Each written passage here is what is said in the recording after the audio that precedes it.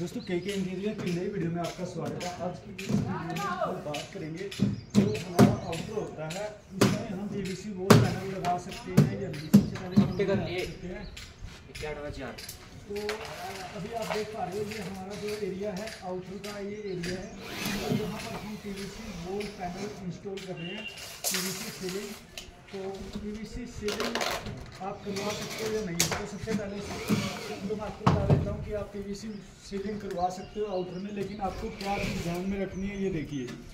जो आपकी सपोर्टें हैं, जो आपका लोहे का जाल बांधा जाएगा, वो आप देखिए, यहाँ पर हमने पाँच से छः सेक्शन लगाए हैं, और जो साइज़ है हमारा सिर्फ़ नब्बे इंच के पैनल लग रहे हैं, यहाँ पर इसमें भी हमने इतने लगाए हैं। अगर आप काम करवाना चाहते हो तो सबसे पहले आप ये ध्यान रखिए, जो मिस्त्री है वो कितने सेक्शन लगा रहा है? दूसरी बात, अगर यहाँ तो हमारे लेंटर है ऊपर, अगर आपके ऊपर छत जो है टीन की है तो उसमें आपको ये ध्यान बिल्कुल रखना है कि थर्माकोल डलवानी है बीच के, बीच में।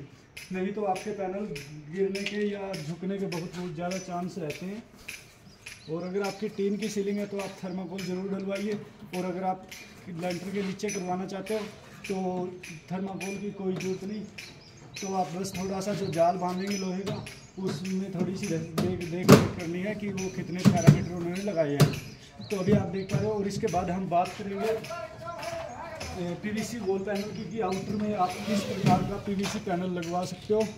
मैं आपको दिखा देता हूँ, देखिए, ये जो पीवीसी पैनल है, वहाँ भी लग चुका है।